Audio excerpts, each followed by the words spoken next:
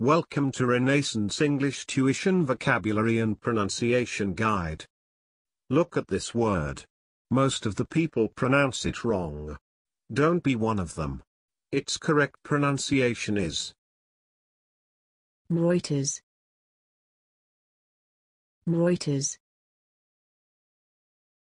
Reuters That's all for today.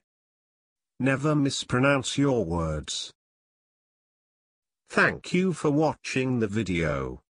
Don't forget to like share comment and subscribe. Hit the bell icon for notifications. See the description to follow us.